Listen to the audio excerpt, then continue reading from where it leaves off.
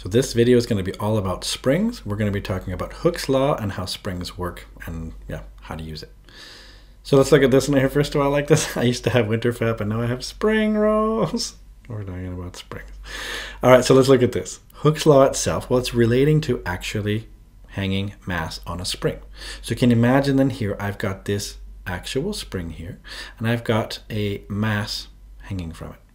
Now, if you just let it be by itself, it'll eventually just set its own equilibrium position. Right? So we're assuming it's not moving, because if it's moving back and forth, for example, that will be actually simple harmonic motion. But we're going to assume we're not doing SHM, as it's called. No, we're just going to be letting it hang there and sit happily. And now if we add more mass to the spring, well, then what happens? Does it make sense the spring will extend?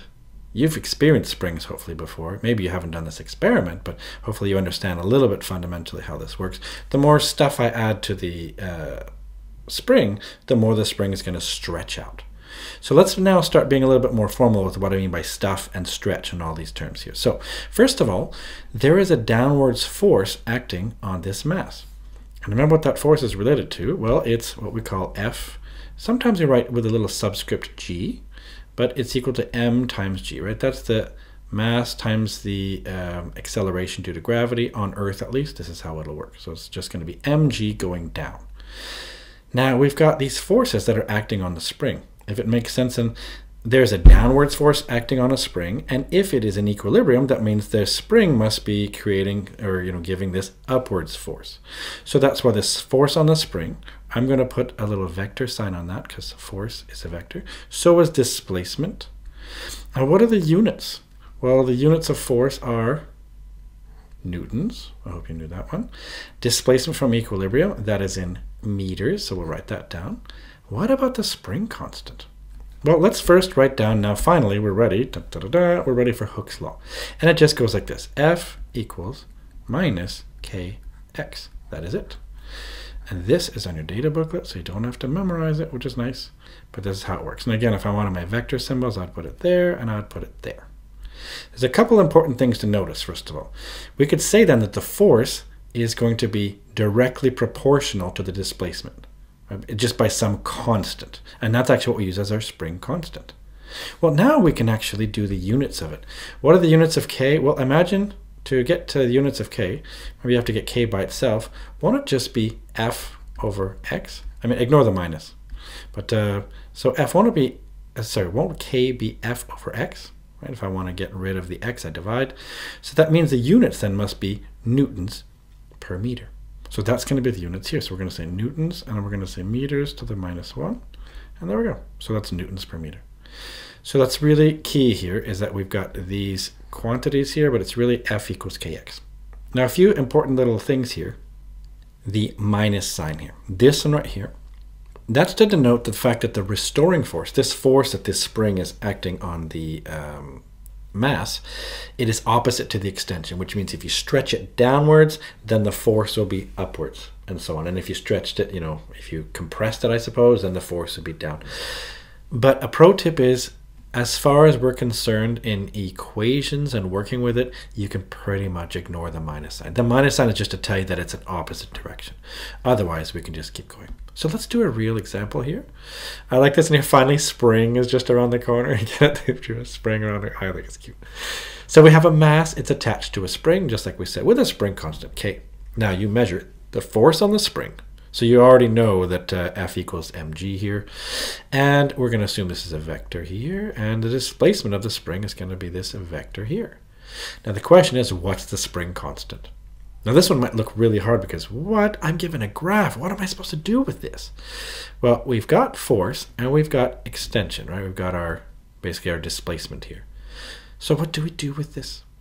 This might not be simple. So I want to give you a trick here. So this is actually a really important skill that we use in physics. And I'm going to call it linearizing. Okay, so I'm going to call this linearize. Now, what do I mean by that?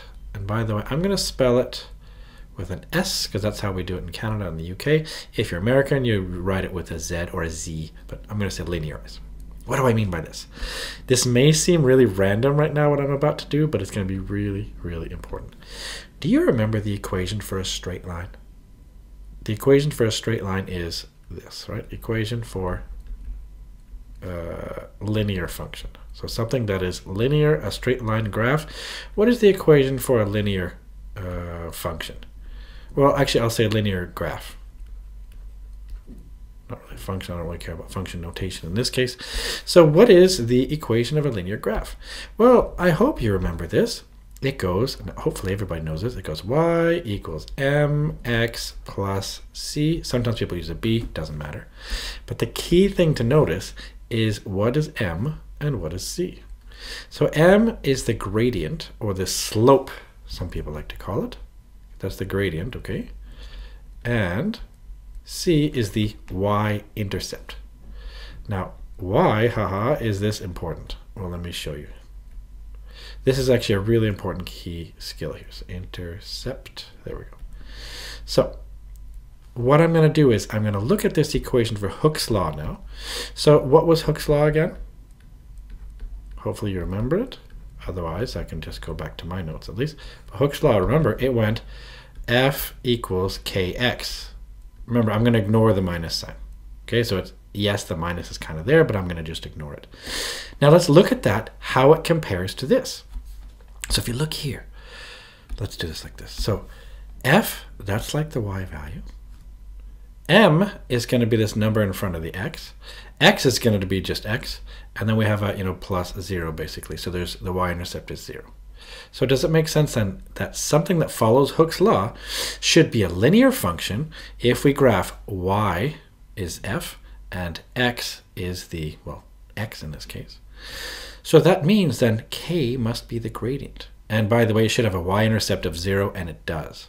So this is the key thing right here, okay, is that k, this is the really key part, it wasn't obvious. That's why I wanted to explain it like this and say, look, if ever you're not sure what to do with the graph, very often something like this linearizing is important, at least if it looks like it's a linear graph.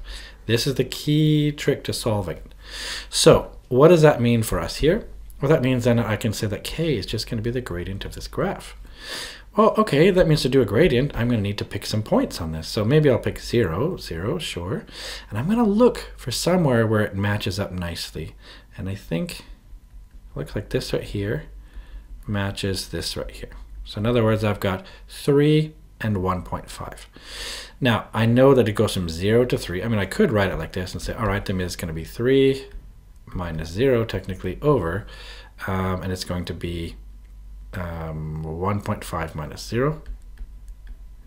Okay, so that means um, I would just say that k then is equal to, in this case right here, well, 3 over 1.5, and we're done, right? Wrong. I've on purpose made a mistake.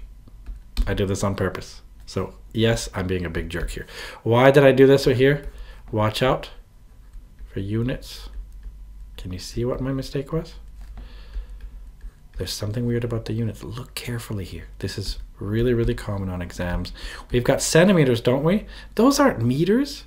So that's why if I really want to do it, then I have to say, ah, watch out then, because of that. I can say then that k equals, it's going to be 3 over 0 0.015. Because this is supposed to be 1.5 centimeters. This is 0.015 meters. That's really important. Okay, that was meters and these were newtons. So, okay, that was really important. Well, then I can just open up my trusty calculator and see about that. So what is 3 divided by 0.015? Oh, it's 200. All right, so then I have k equals 200. And I'm going to say, what are the units again? Oh, yeah, meters, uh, sorry, newtons per meter because I fixed it, right? So it's newton meter to the minus one. So I thought this was not trivial. There's a few things about this question that made it, you know, a challenge. I think first of all, it was that we had to know somehow just from the equation that the gradient of this graph is going to be the spring constant. It wasn't obvious. That's why I think linearizing is a really important skill. Okay, so I use this quite often actually on exams. And just be careful for units. Those are really important. So you can see in this video, we've gone over Hooke's law and how to use it.